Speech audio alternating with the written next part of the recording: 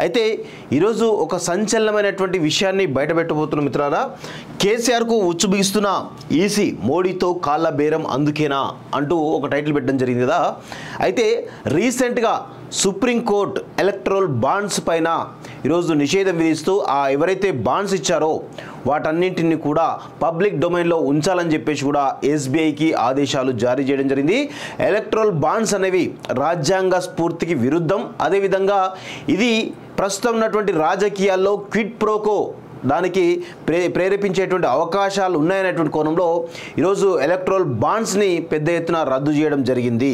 So దీనిలో భాగంగా ఈరోజు దేశవ్యాప్తంగా భారతీయ జనతా పార్టీ అత్యధికంగా ఎలక్ట్రోల్ బాండ్స్ ద్వారా ఈరోజు ఫండ్స్ తీసుకుంటే ఆ తర్వాతి స్థానంలో కాంగ్రెస్ కానీ తెలంగాణ తృణమూల్ కాంగ్రెస్ కానీ అదేవిధంగా భారతీయ రాష్ట్ర సమితి ఇలా చాలా పెద్ద ఎత్తున బాండ్స్ సేకరించింది ముఖ్యంగా కేసీఆర్కి ఇది ఇది ఈ ఎలక్ట్రోల్ బాండ్స్ ఏవైతే ఉన్నాయో చాలా కోలుకోలేని దెబ్బ అయితే కనబడతా ఉంది. ఎందుకు అంటే ఈరోజు అధికారం కోల్పోయిన తర్వాత కేసీఆర్ ఈరోజు ప్రతి విషయంలో కూడా ఆయనకు కాళేశ్వరం విషయం కావచ్చు లేదంటే కేటీఆర్కు సంబంధించినటువంటి అనేకమైనటువంటి అక్రమాలకు సంబంధించినటువంటి అవినీతి బయటపడతా ఉన్న విషయం కావచ్చు లేదంటే అనేక రకాలైనటువంటి ఇష్యూస్ ఈరోజు కరెంటు విషయం కావచ్చు ప్రతి అంశంలో కూడా ఎదురు దెబ్బ తలుగుతూ వస్తూ ఉన్నది. ప్రస్తుతం ఈ సుప్రీంకోర్టు ఏదైతే ఆర్డర్ ఇచ్చిందో ఎలక్ట్రల్ బాండ్స్ అనేవి నిజంగా కూడా కేసీఆర్కు కోలుకోలేని దెబ్బగా మనకైతే కనబడుతూ ఉంది.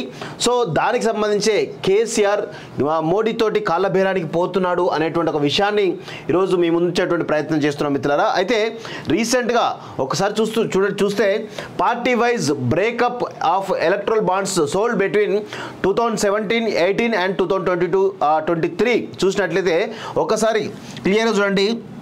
భారతీయ జనతా పార్టీకి దాదాపు రెండు వందల పది కోట్లు రావడం జరిగింది రెండు వేల పదిహేడు పద్దెనిమిదిలో. అంటే ఈ ఎలక్ట్రల్ బాండ్స్ అనేవి రెండు వేల పదిహేడు పద్దెనిమిదిలో భారత భారత ప్రభుత్వం ఆనాటి కేంద్ర ప్రభుత్వం బీజేపీ కేంద్ర ప్రభుత్వం బీజేపీ ప్రభుత్వం తీసుకురావడం జరిగింది. సో దాని ప్రకారం చూసుకున్నట్లయితే టోటల్గా ఇప్పటి వరకు ఆరు వేల ఐదు వందల డెబ్బై కోట్ల రూపాయలు బీజేపీకి బాండ్ల ద్వారా ఫండ్స్ రావడం జరిగింది. అదేవిధంగా కాంగ్రెస్కి వచ్చేసి వెయ్యి ఒక ఒక వంద నూట వెయ్యి ఒక వంద ఇరవై మూడు కోట్లు వస్తే తృణమూల్ కాంగ్రెస్కు వెయ్యి తొంభై రెండు కోట్లు రావడం జరిగింది. అదేవిధంగా డిఎంకేకి ఆరు వందల పదహారు కోట్లు టిఆర్ఎస్ టీఆర్ఎస్ అంటే బీఆర్ఎస్కి దాదాపు తొమ్మిది వందల పన్నెండు కోట్లు. అంటే దాదాపు బీజేపీ కాంగ్రెస్ తృణమూల్ కాంగ్రెస్ తర్వాత బీఆర్ఎస్కి అత్యధికంగా ఫండ్ రావడం జరిగింది. సో ఇప్పుడు ఏంది అంటే కేసీఆర్ ఈ ఫండ్స్ ఉన్నాయనేటువంటి ఒక ఉద్దేశంతో ఈరోజు చాలా ధీమాగా ఉన్నటువంటి పరిస్థితి మనకు కనబడుతూ ఉంది. కానీ రీసెంట్గా సుప్రీంకోర్టు ఇచ్చినటువంటి ఆర్డర్ తోటి ఈ తొమ్మిది వందల పన్నెండు కోట్ల రూపాయలకు సంబంధించినటువంటి ఫండ్ ఏదైతే ఉందో ఎవరెవరు ఎంత ఇచ్చారు అనే అనేది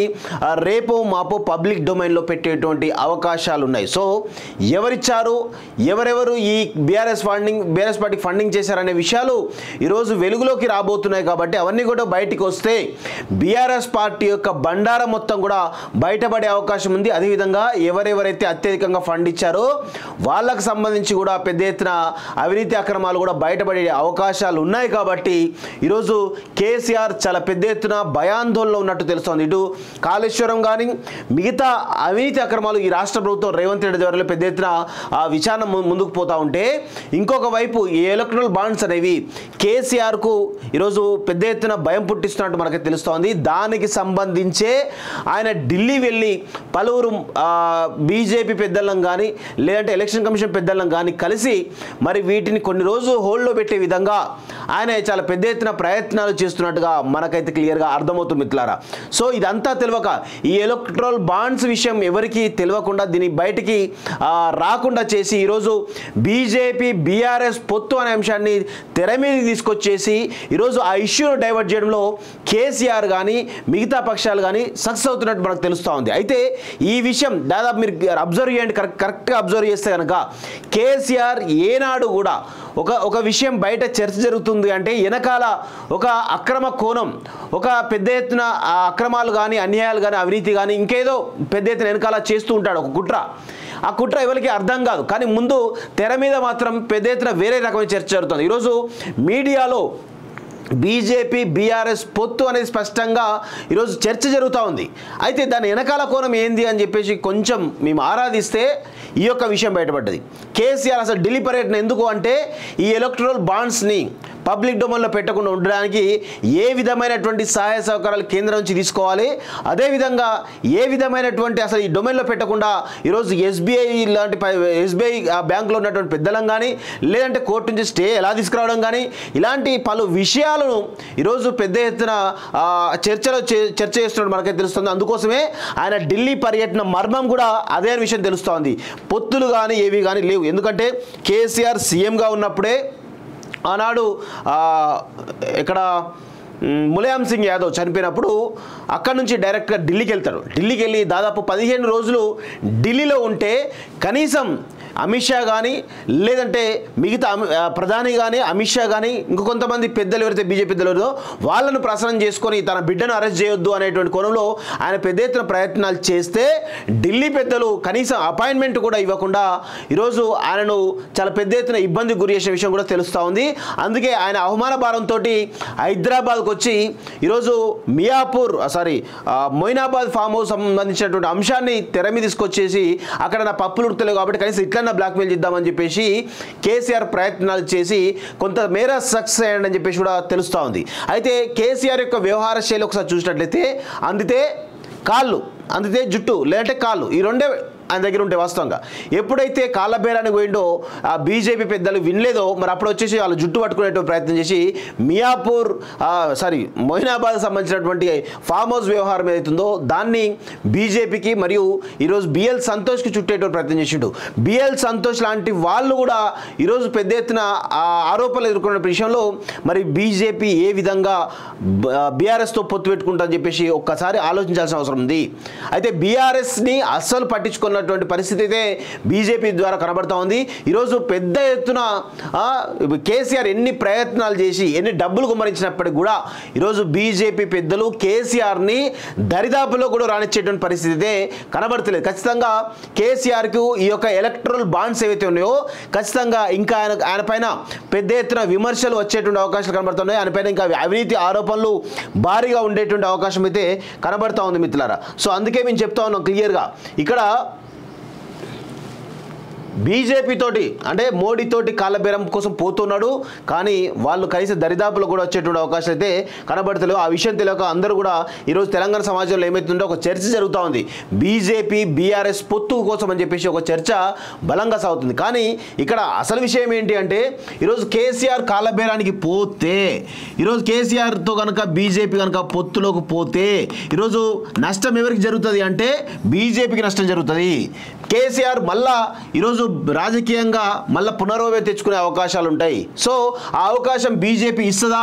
అంటే ఇవ్వకపోవడం ఒక అవకాశాలు ఎందుకు ఉంటాయి. ఎందుకు అంటే ఈ తెలంగాణలో బీ బీఆర్ఎస్ కనుక ఈరోజు పెద్ద ఎత్తున రాజకీయంగా బొందగా బొందపడితే కనుక సమాధి అయితే కనుక ఈరోజు ఈ ఈ తెలంగాణ రాష్ట్రంలో కాంగ్రెస్ వర్సెస్ బీజేపీ ఫైట్ బలంగా ఉండేటువంటి అవకాశాలు అయితే ఉన్నాయి. సో అప్పుడు బీజేపీకి చాలా అవకాశాలు ఉన్నప్పుడు ఎందుకు వదులుకుంటుంది? వదులుకోదు కదా. అందుకే బీజేపీ బీఆర్ఎస్ని ఎట్టి పరిస్థితులను బతకనీయ విషయం కూడా గుర్తుపెట్టుకోండి. ఇంకొక విషయం కూడా విషయం చెప్తా ఉన్నాను. బీజేపీ ఈ ఎన్నికల్లో కంఫర్టబుల్గా ఆరు నుంచి ఎనిమిది సీట్లు మినిమం ఎనిమిది సీట్లు కూడా గెలిచేటువంటి అవకాశాలు అయితే బలంగా ఉన్నాయి. సో ఎందుకు వాళ్ళు బీ- కేసీఆర్ని ఎందుకు ఎంకరేజ్ చేస్తారు? బీఆర్ఎస్ ఎందుకు ఎంకరేజ్ చేస్తారు వాళ్ళు కావాల్సినట్టు సీట్లు ఆరు నుంచి ఎనిమిది వస్తూ ఉన్నాయి. కంఫర్టబుల్గా. గతంలో కంటే గతంలో నాలుగు కంటే ఈసారి రెండు రెండు నుంచి నాలుగు సీట్లు ఎక్కువగా అత్య అధికంగా వచ్చే అవకాశాలు కాబట్టి సో ఎట్టి పరిస్థితుల్లోనూ బీఆర్ఎస్ బీజేపీ పొత్తు ఉండకపోవచ్చు. కేసీఆరే కావాలని మీడియాలో ఒక చర్చ పెడుతూ ఉన్నాడు. తన అజాత మిత్రు అయినటువంటి ఎవరైతే ఏబిఎన్ ఆర్కే ఉన్నాడో ఆ రామకి ఆర్కే తోటి ఆయన కొన్ని కథనాలు చేపించేసి ఈరోజు జనాలలో ఒక కన్ఫ్యూజన్ క్రియేట్ చేసేటువంటి ప్రయత్నం బలంగా జరుగుతూ ఉంది. ఏబిఎన్ ఆర్కే వేసేటువంటి కథనాలతోటి ఈరోజు ఒక చర్చ బలంగా జరుగుతున్నట్టు క్రమంలో గతంలో కూడా బీజేపీకే చాలా నష్టం జరిగింది. బీఆర్ఎస్ బీజేపీ ఒకటే. కవిత ఎందుకు అరెస్ట్ అయితే లేదు అనేటు కోణంలో ఇచ్చినటువంటి ఆర్టికల్. ఆ తర్వాత కొంతమంది బీజేపీ నాయకుల తీరు వల్ల ఆ రోజు బీజేపీ చాలా నష్టపోయిందనే విషయం కూడా మనం గమనించాలి. ప్రస్తుతం అదే చ- ఒక చర్చను ఈరోజు ప్రజల ముందు ఉంచే ప్రయత్నం చేస్తున్నారు మరొక వారం పది రోజుల్లో ఒక క్యాండిడేట్స్ అంతా అనౌన్స్ అయిపోతారు. అసలు బీజేపీ బీఆర్ఎస్ పొత్తు స్పష్టంగా అర్థమవుతుంది. మరి అప్పుడు ఎలాంటి వాదం ఎత్తుకుంటారో చూడాలి వీళ్ళు. అందుకే కేసీఆర్ చాలా స్పష్టంగా మీడియాలో ఒక చర్చ డైవర్ట్ చేసేసి తన వెనకాల ఉన్నటువంటి కుట్ర ఏదైతే భారీ స్కెచ్ అవుతుందో దాన్ని ఇంప్లిమెంట్ చేయడానికి ఢిల్లీ పోతున్నాడు. ఢిల్లీ పర్యటన వెనక ఆంతర్యం అదే అనే విషయాన్ని కూడా ఒకసారి గుర్తుపెట్టుకోండి మిత్రులారా.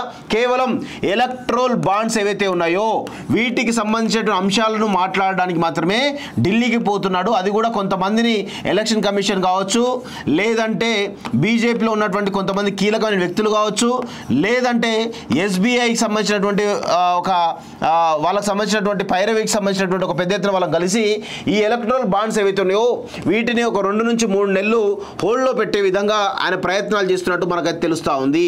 సో ఎందుకు రెండు మూడు నెలలు హోల్డ్లో పెట్టాలి అంటే అప్పటికల్లా ఈ ఒకవేళ ఈ ఏవైతే బాండ్స్ ఏవైతే ఉన్నాయో ఇవి కనుక ఆ పేర్లు కనుక బయటకు వస్తే ఖచ్చితంగా కేసీఆర్కు బీఆర్ఎస్కు ఈ ఎన్నికల్లో భారీ ఎత్తున దెబ్బపడే అవకాశం ఉంది.